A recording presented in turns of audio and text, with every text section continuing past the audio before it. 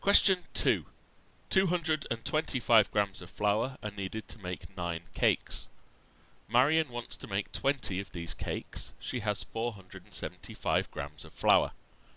Does Marion have enough flour to make 20 cakes? You must show all your working. So we have the amount of flour we need for 9 cakes. And we can't just double this recipe because that would only make 18 cakes.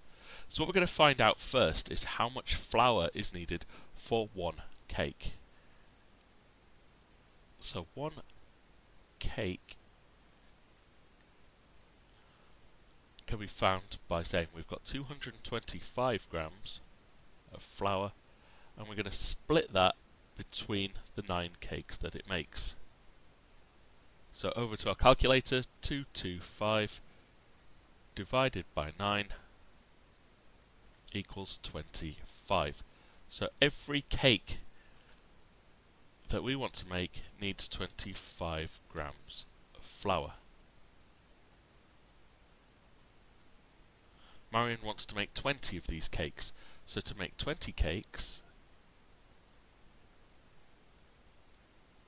we can multiply this value, 25 grams, by 20.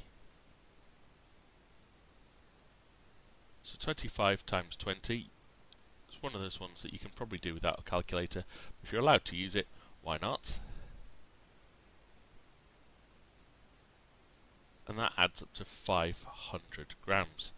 So because she only has 475, the answer to the question, does Marion have enough, is no.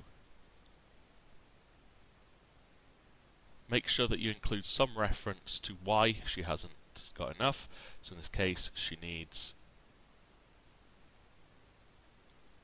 how much more?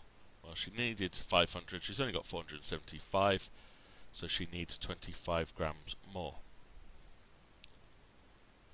You could have also mentioned that she has enough for 19 cakes, or she is missing 25 grams, but do include a reason for why you've said no.